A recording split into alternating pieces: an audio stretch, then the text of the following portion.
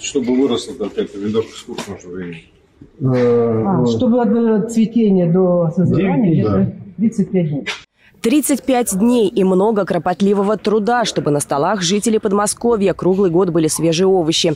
Атлет – один из самых популярных – это сорт огурца.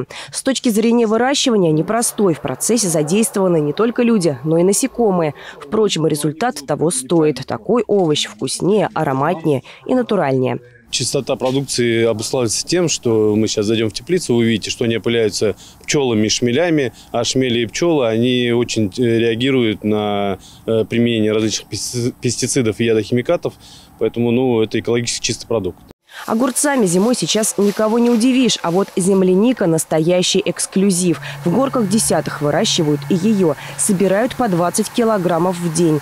Летом радует урожаем малина. Здесь под нее отведено 2 гектара. Еще 6 занимают теплицы. Работает на предприятии порядка 90-100 человек вот в разные периоды. То есть мы берем также в летний период больше людей для того, чтобы собирать малину. Не хватает не только рабочих рук, но и агрономов и инженеров. Хотя руководство предприятия уверяет, зарплата достойная. Помощь с решением кадрового вопроса предложил глава округа Андрей Иванов.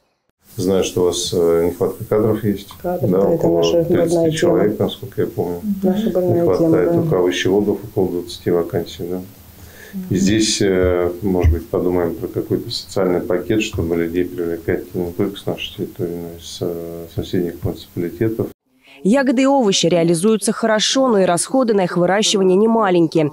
Помощь со стороны государства ощутима, говорит Андрей Хардин. Глава округа напомнил, мер поддержки много. Например, есть региональная на модернизацию оборудования. У нас есть свои формы поддержки, гранты мы в этом году увеличили. Э, поддержку до 40 миллионов. Э, здесь тоже очень простая э, система и подачи, и оформления документов и получения.